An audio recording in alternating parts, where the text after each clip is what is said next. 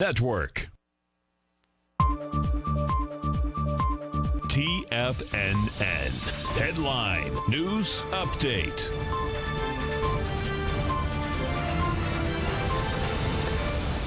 Welcome, folks. We had the Dow finish flat, Nasdaq down 22, S&P's also flat. Bottom line, you had a sideways market out here, third day in a row, folks. Uh, needless to say, uh, we did hit all-time highs yesterday inside the Dow, NDX, and Nasdaq Composite. Gold, gold contract that got back inside its larger range uh, today, up nine dollars, trading at fourteen hundred ninety-two dollars. Silver up four cents, seventeen dollars sixty-one cents an ounce. Light sweet crude. We had a build of 7.4 million barrels, folks. Plenty of oil out here. Oil pulled back 68 cents, $56 55 cents a barrel. That's back under the lower swing point. That's saying, once again, oil can make the run down to that $50 level.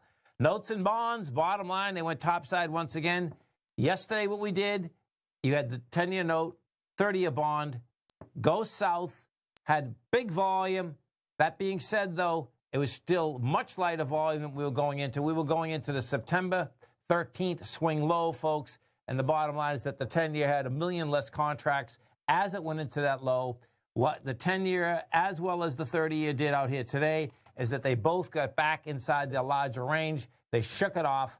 You did 1.3 million contracts in the 10 year. You're trading 129.10. You just had to get back inside 129.01. So tomorrow, bottom line, big day tomorrow inside the note and bond market. Why? Because you come down three days in a row. You're going after the September 13th low, which you break that low, and you know, bottom line, you can get down to like that 127.21, and we're at 129 right now.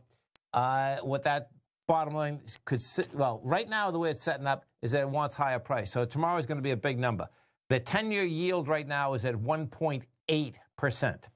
And King Dollar, King Dollar, you know, does look like that it wants to try to get to higher price. It's laying right at the high from the swing point of last week, which is the 98.004. That's where we failed.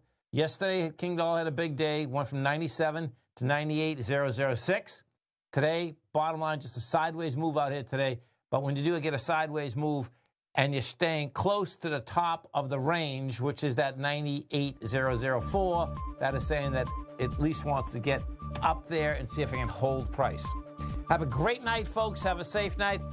Look forward to coming back here tomorrow morning. Larry Pesavento, great program. Our program starts at 9 o'clock in the morning. Have a great one, folks. Have a safe one.